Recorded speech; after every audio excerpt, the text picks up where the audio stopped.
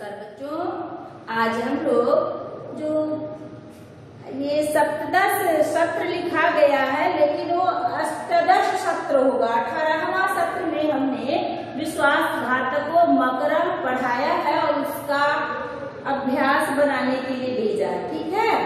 तो अब ये उन्नीसवा सत्र है। यहाँ इस गलती को ज़रूर सुधार देंगे। इसके लिए सॉरी खेद है। मैंने पुराना था, याद नहीं आया था कि सत्रह नंबर क्या है। तो ध्यान दीजिएगा, आज हम विश्वासघातकों मकरह का प्रश्नोत्तर आपको समझा रहे हैं। पहला प्रश्न है इसमें, संस्कृत में उत्तर दे। संस्कृत में उत्तर दे। तो संस्कृत में उत्तर देने प्रश्न क्या है? मकर कस्य कारण ज्ञातुम इच्छति। मतलब हुआ, मकर मगरमच्छ कस्य कारण। किसका कारण? ज्ञातुम इच्छति जानना चाहता है मगरमच्छ किसका कारण जानना चाहता है। उत्तर होगा, कस्य प्रश्नवाचक शब्द है। उसके जगह हम उत्तर का क्या लिखेंगे? मकर वानरस्य स्वास्थ्य प्रसन्नतायाः च कारणं ज्ञातुम् इच्छति। फिर से देखिएगा। मकर वानरस्य स्वास्थ्यस्य प्रसन्नतायाः च कारणं इच्छति। मतलब हुआ, मगरमच्छ वानर के स्वास्थ्य एवं प्रसन्नता का कारण जानना चाहता था। दूसरा प्रश्न है, मकर किमर्थम वानरम निमंत्रयति? मगरमच्छ किस लिए वानर को निमंत्रण दिया। तो ध्यान दीजिएगा दायित्व भोजन के लिए दिया था, लेकिन भोजन के लिए कहने का उद्देश्य क्या था? वो अपनी पत्नी को खुश करना चाहता था, संतुष्ट करना चाहता था। तो इसका मैं लिख दे रही हूँ, ध्यान दीजिएगा इसका टू का टू है, थोड़ा कहीं भारी पड़े आपको। मकर वानरम मकर स्वपत्नी तोषयितुम तोषयितुम मतलब संतुष्ट करने के लिए मकर स्वपत्नी तोषयितुम वानरम भोजनाय भोजनाय निमंत्रयति। निमंत्रयति निमंत्रण देती। वर्णम निमंत्रण देता है। ध्यान दीजिएगा। मतलब हुआ मकर मगरमच्छ अपनी पत्नी को, स्वपत्नी, अपनी पत्नी को तो संतुष्ट करने के लिए वानर को भोजन के लिए निमंत्रण देता है। ठीक है? दोनों कारण इसमें आ गया। अगला है, तीसरा प्रश्न। वानरस्य मस्तिष्के कह विचार स्फुटति? वानर के मस्तिष्क में कैसा कौन विचार उत्पन्न होता है? तो ध्यान देंगे, क्या विचार उत्पन्न हुआ था?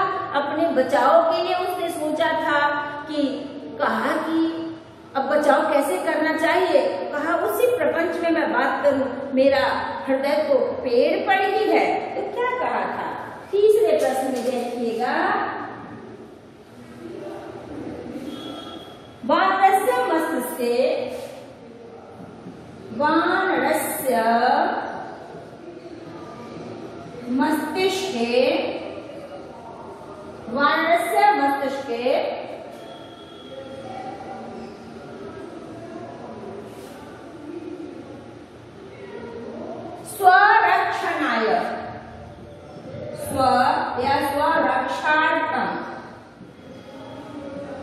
दोनों में कोई भी स्वरक्षणाय या स्वरक्षार्थम बानर के दिमाग में अपने रक्षा के लिए विचार स्फुरति विचार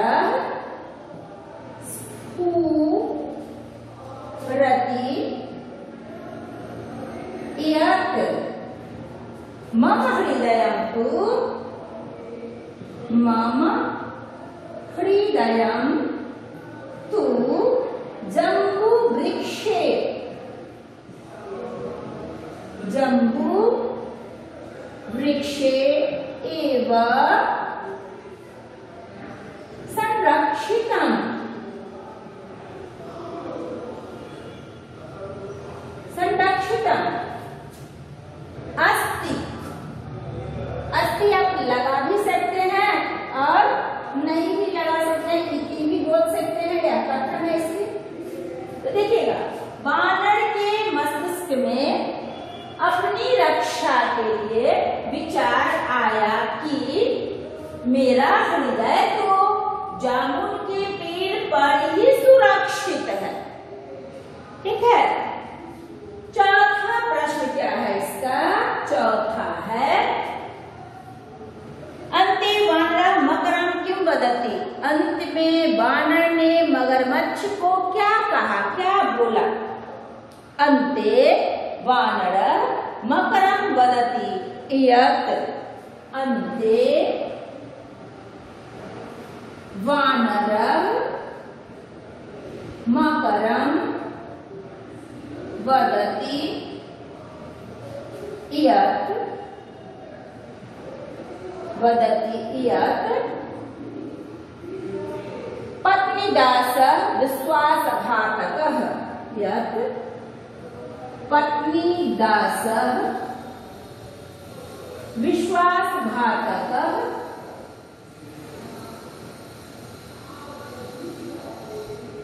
विश्वास घातक त्वम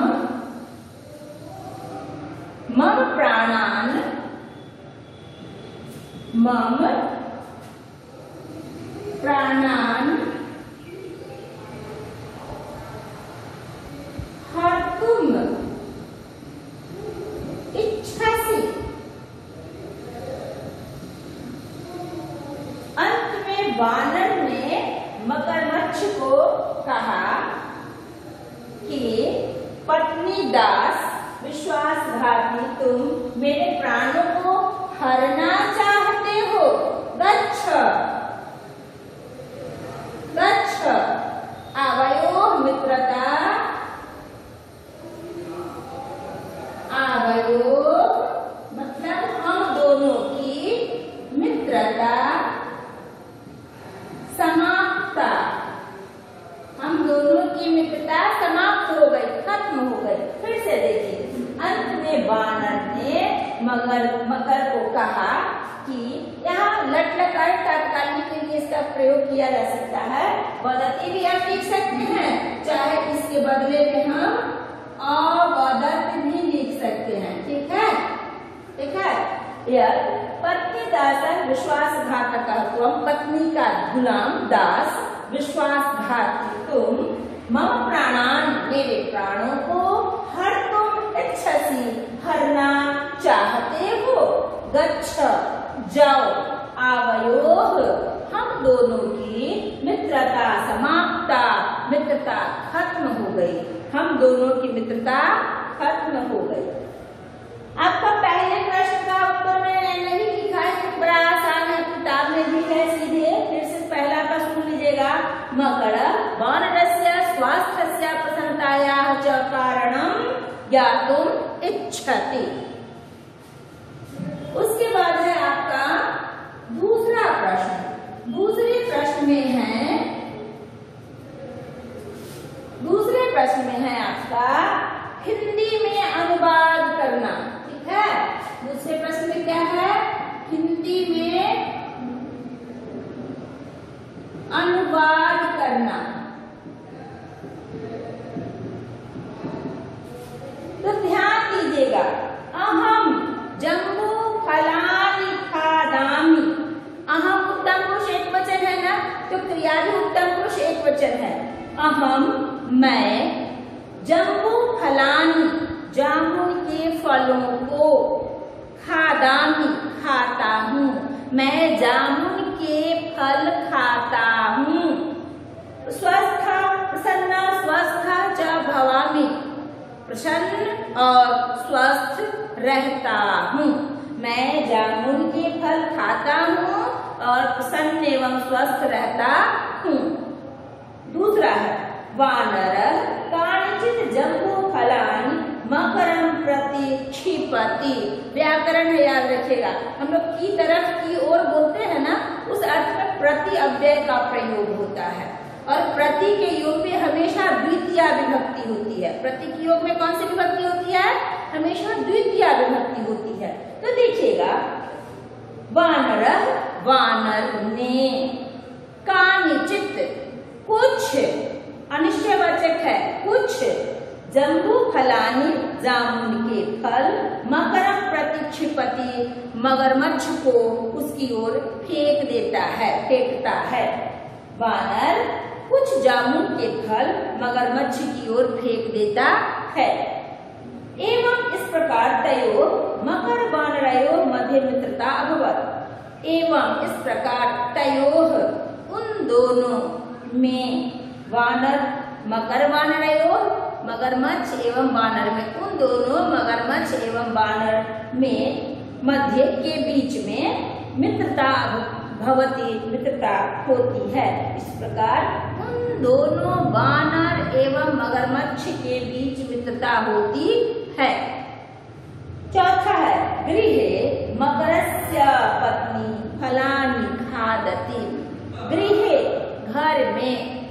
मकरस्य पत्नी, मगरमच्छ की पत्नी, फलानी खादती, फल खाती है। घर में मगरमच्छ की पत्नी अर्थात मकड़ी, फल खाती है। मम पत्नी मकड़ी त्वाम भोजनाय निमंत्रयति मम पत्नी, मेरी पत्नी मकड़ी त्वाम तुम्हें तुमको भोजनाय। भोजन के लिए निमंत्रयति, निमंत्रण दे रही है, बुला रही है। मेरी पत्नी मकड़ी तुम्हें भोजन के लिए बुला रही है, निमंत्रण दे रही है। तुम मम पृष्ठे उपविश। तुम मम पृष्ठे मेरी पीठ पर उपविश। बैठो, बैठ जाओ। तुम मेरी पीठ पर बैठ जाओ। अब है क्वेश्चन नंबर ग। तो ग में क्या लिखा है? क्वेश्चन नंबर ग है, इसमें है संस्कृत में अनुवाद करना है। ठीक है? इसमें क्या है? संस्कृत में अनुवाद करना है। नदी के किनारे एक जामुन का पेड़ था। नदी के किनारे नद्या, नदी के षष्ठी तो नद्या हो गया नदी के षष्ठी में। किनारे, किनार पर तटे, सप्तमी हो गया नद्या तटे। ऐसे लिखेंगे चाहे हम एक साथ लिखना चाहेंगे तो क्या करेंगे? नदी, तटे, नदी के तट पर। एक जामुन का पेड़ था, पेड़ वृक्ष पुलिंग होता है, इसलिए एक जम्बू वृक्ष। जम्बू वृक्ष आसीत। जम्बू वृक्ष आसीत।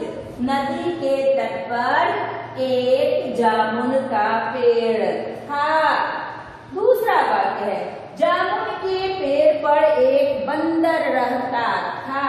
जामुन के पेड़ पर तो एक साथ कर दिया।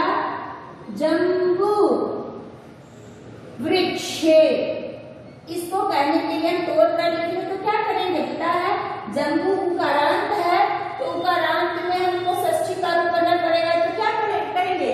जम्बू जम्बू वृक्षस्य उपड़ी तो ज़्यादा भारी क्यों करेंगे कर हैं, ऐसे जम्बू वृक्षस्य उपड़ी सीधा एक छोटा सा, क्या हो गया? जम्बू वृक्ष।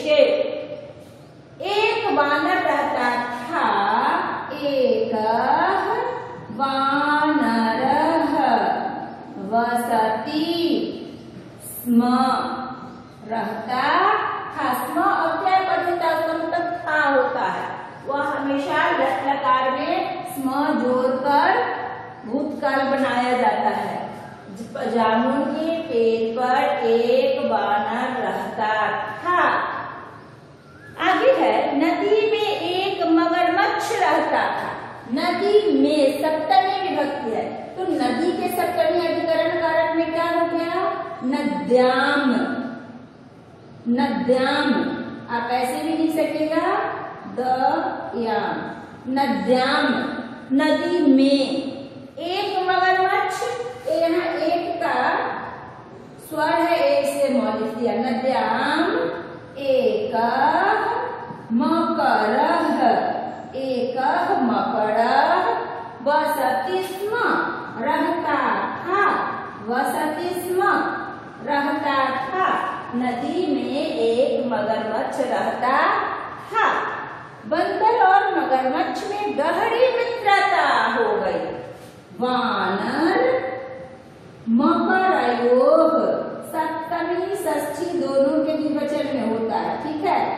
तो बानर मकरयोग अगर मध्य जोड़ेंगे तो षष्ठी मध्य नहीं जोड़ते तो सप्तमी मान लेते षष्ठी का प्रयोग मैं कर रही हूँ। बानर मकरयोग मध्य, गहरी मतलब अति प्रगाढ़ा मैत्री स्त्रीलिंग प्रगाढ़ा, मैत्री अभवत बानर और मगरमच्छ के बीच गहरी दोस्ती हुई। दोस्ती हो गई। एक बार मगरमच्छ जामुन के कुछ फल अपने घर ले गया। एक बार, एक अदा। एक बार का क्या होता है? एक अदा। मगर मगरमच्छ कुछ अनिश्चयवाचक सर्वनाम है। जम्बू फल फल नपुंसक लिंग होता है तो किनके कानी हुआ ना? कानी बहुवचन तो बहुवचन है और अनिश्चयवाचक है, इसमें चित प्रत्यय जोड़ दिया तो कानिचित मतलब कुछ। कानिचित जम्बू फलानी। अब यहाँ देखिए, ज थर्ड लेटर था तो यहाँ भी थर्ड लेटर हो जाता लेकिन करे ना करे अलग है।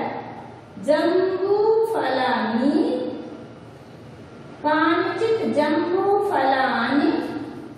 गृहम या स्वगृहम जोड़ दीजिए, अपने घर ले गया। अनयत। ठीक है?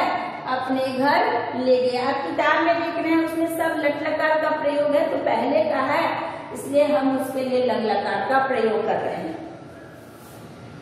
मेरी पत्नी ने तुम्हें भोजन पर आमंत्रित किया मामा पत्नी।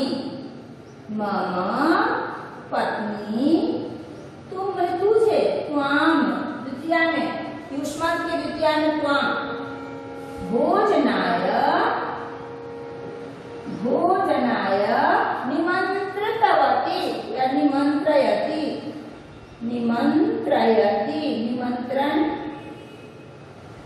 दी है, बुलाई है आमंत्रण किया है। मेरी पत्नी तुम्हारा कलेजा खाना चाहती है। मामा पत्नी मामा पत्नी, तुम्हारा पता तब युष्मत का प्रथमा में त्वाम द्वितीय में त्वाम और षष्ठी में देख रहे हैं तब। फिर फिर नया हृदय भी आप लिख सकते हैं। तब हृदय खादितुम इच्छति मेरी पत्नी तुम्हारा हृदय खाना चाहती है अब देखिए इसमें मैंने एक एक शब्द को समझाया है कारक के अनुसार आप ध्यान से ज़रूर बनाइएगा तो शायद आपको परेशानी नहीं होगी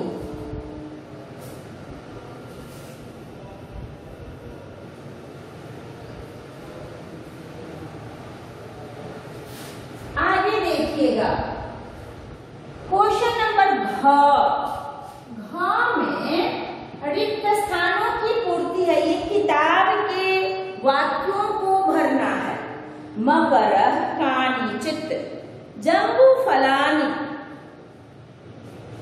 अब यहाँ देखिएगा, मकरम प्रतिक्षिपति जो लिखा है ये किताब का दोष है। मकर पहले नहीं होना चाहिए वानरह लिखना चाहिए।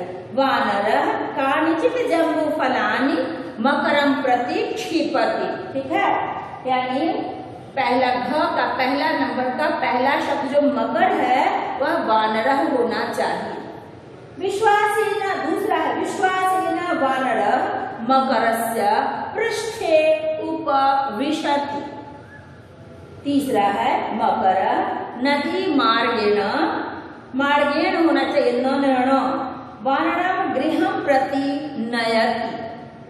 मम पत्नी मकड़ी तो तब हृदपिंड इच्छति प्रथम प्रथम कथम न जलपित? जलपित मतलब कहा कहा गया। अब देखिए, सही के सामने टिक और गलत के सामने क्रॉस, गलत का चिन्ह लगाना है। नदी वृक्ष एक आम नदी तटे एक आम वृक्ष आसित आम का पेड़ नहीं था ना, जामुन का पेड़ था तो गलत हो गया। दूसरा, एकदा कानिचित जम्बू फलानी मकर स्वगृह नयति। सही है। मम पत्नी मकड़ी त्वाम भोजनाय निमंत्रयति सही है। त्वम मम पृष्ठे उपविश, यह भी सही है। मम पत्नी मकड़ी तो हृदय पिंडम इच्छति, यह भी सही है। तस्या कथनेन मम प्राणान हट इच्छा से यह भी सही है। ये वानर ने कहा था मकर अब देखिए क्वेश्चन नंबर च है नंबर च में क्या है आपका? तो क्वेश्चन नंबर च में पद परिचय देना पद परिचय का मतलब हुआ बाबू, जैसे आपका परिचय पूछा जाता है तो आप अपना नाम बताती हैं। स्कूल में आप हैं तो स्कूल में पहले नाम बताती हैं, तब क्लास बताती हैं, सेक्शन बताते हैं, रोल नंबर बताते हैं। ये स्कूल का परिचय हुआ, उसके बाद तो पहले तो बाहर कोई पूछेगा आपका तो नाम बताइएगा, स्कूल का नाम बताइएगा, क्लास, सेक्शन, रोल नंबर, पापा का नाम, मम्मी का नाम, ये एजुकेशन के मामले में हो गया। ऐसे आपसे कोई पूछेगा तो आप अपना नाम बताइएगा, पापा का, मम्मी का नाम बताइएगा, आप कहाँ रहते हैं, वो गली मोहल्ला का नाम बताइएगा, मेन आसपास का जो प्रमुख चौक चौराहा है, उसका नाम बताइएगा। बाहर बताने पर आप डिस्ट्रिक्ट बताइएगा स्टेट बताइएगा, कहीं गाँव से परिचय पूछता है तो जहाँ जिस गाँव के रहने वाले हैं, उसका गाँव है, थाना इत्यादि जिला बताते हैं ना, वह जैसे आपका परिचय होता है, उसी प्रकार वाक्य में शब्दों का प्रयोग होता है, और शब्द पर जब कारक का अधिकार होता है तो पद हो जाता है। उस पद के बारे में बताना कि कैसा शब्द है, किस लिंग में है, क्या विभक्ति है, क्या वचन है, क्या पुरुष है, इत्यादि उसके बारे में बताना पद परिचय कहलाता है, ठीक है? तो देखिएगा, भोजनायक। अब यहाँ भोजनायक के बारे में पूछ रहा है कि भोजनायक कैसा है तो ध्यान देना है आपको भोजनायक मूल शब्द इसका क्या है एक होगा मूल शब्द का परिचय ठीक है इसमें बाकी चीज़ नहीं कहा है मूल शब्द पूछेगा पूछेगा विभक्ति पूछेगा आपने बताइएगा वचन पूछ बताइएगा इसका और उसके बाद लिंग भी दीजिएगा तो वह भी अच्छा ही हो ठीक है? इतना चीज़ आपने बताया। अब भोजनायक मूल शब्द इसका क्या है? भोजन है। मूल शब्द क्या है? भोजन है। विभक्ति क्या है? चतुर्थी है। कौन सी विभक्ति है? चतुर्थी है। वचन क्या है? एक वचन है। लिंग क्या है इसका? नपुंसक लिंग है। ठीक है? दूसरा है तो जम्बू फलानी में देखिएगा आप। जम्बू फलानी का मूल क्या हो जाएगा? जम्बू फल। कौन सी विभक्ति है? इसमें जो है आपका नपुंसक प्रथमा द्वितीय एक ही होता है। लेकिन यहाँ जो पाठ में आपने प्रयोग किया है, इसमें द्वितीय विभक्ति है। तो कौन सी विभक्ति हो गई? द्वितीय। कौन सा वचन है? बहुवचन। कौन सा लिंग है इसका? नपुंसक। लिंग ही है। वृक्ष। अब देखिए आप, वृक्ष है। इस वृक्ष का मूल क्या हो गया? वृक्ष है। कौन सी विभक्ति है? सप्तमी है। कौन सा वचन है? एक वचन है। कौन सा लिंग है? यह पुल्लिंग है। ठीक? उसके बाद आपका मार्गेण। मार्गेण यह मूल शब्द क्या है इसका मार्ग है विभक्ति क्या है इसकी? तृतीया है। वचन क्या है इसका? बहुवचन है। और लिंग क्या है? यह पुल्लिंग है। ठीक है? मकरस्य। मकरस्य में ध्यान दीजिएगा मूल शब्द क्या है? मकर है। विभक्ति क्या है? षष्ठी है। वचन क्या है? एक वचन है। लिंग क्या है? पुल्लिंग है इसका। तस्मिन सर्वनाम ये सारे संज्ञा पद थे अब तस्मिन है, इसका एक बढ़ जाएगा। यह क्या है? सर्वनाम है। ठीक है? क्या है यह? सर्वनाम है। कौन मूल शब्द इसका क्या हो गया? तद। क्या है इसका मूल शब्द? तद। कौन सी विभक्ति में आया सप्तमी में है। नपुंसक में तृतीया से पुलिंग की तरह ही रूप चलता है, लेकिन यहाँ वृक्ष के लिए दिया गया है तो पुलिंग हो गया है, ठीक है? वचन क्या है? एक वचन। लिंग क्या है? पुलिंग है। शीघ्रमेव। शीघ्रमेव। यह अव्यय पद है, ठीक है? यह क्या है? अव्यय है। शीघ्रमेव, हमेशा शीघ्र प्रथमा विभक्ति। इसमें जैसे हो जाए, जल्दी इसमें यह अव्यय पद है, इसमें जैसे विभक्ति का अर्थ होता है अंतर तो आता नहीं है, वैसा इसका प्रयोग हो जाता है, ठीक है? और यह सुबंध पद होता है। उसके बाद है आवयोह उसने किताब में गलत प्रिंट हो गया है आवकोह लिखा हुआ है आवयोह यह भी सर्वनाम पद है ठीक आवयोह का मूल क्या है अस्मद मूल क्या है अस्मद कौन सी विभक्ति है यहाँ ष्ठी सप्तमी दोनों में प्रयोग होता है क्योंकि मध्य जोड़ा हुआ है अवयव मध्य हम दोनों के बीच में तो यहाँ ष्ठी का बोध हो रहा है ऐसे यह सप्तमी में भी यही होता है वचन क्या है इसका द्विवचन है और इसका स्त्रीलिंग पुलिंग नपुंसक सभी लिंगों में प्रयोग होता है तो अलग से इसका कोई लिंग लिखना नहीं है किंतु यहाँ मगरमच्छ और बानर दोनों पुलिंग है, इसलिए हमने इसको पुलिंग बताया। ठीक है? अब देखिएगा योग्यता विस्तार है आपका। इस पाठ में फलम, मित्रता, भोजनम आदि शब्दों का प्रयोग किया गया है। ये शब्द नपुंसक लिंग शब्द हैं। नीचे फलम शब्द का रूप दिया जा रहा है, इसे पूरा कीजिए। तो ध्यान दीजिएगा, फलम का प्रथमा द्वितीय एक ही तरीके का होता है। ठीक है? और तृतीया से बालक की तरह रूप चलेगा। तो मैं बरवली बोल रही हूँ। प्रथमा में दिया है फलम, फले, फलानी। द्वितीय में भी फलम, फले, फलानी। तृतीया, फलेन, फलाभ्याम, फलई। चतुर्थी में फलाय, फलाभ्याम, फलेभ्य। पंचमी में फलात्, फलाभ्याम, फलेभ्य। ष्ठी फलस्य, फलयो फलानाम सप्तमी, फले, फलयो ফলে সু মূর্ধনি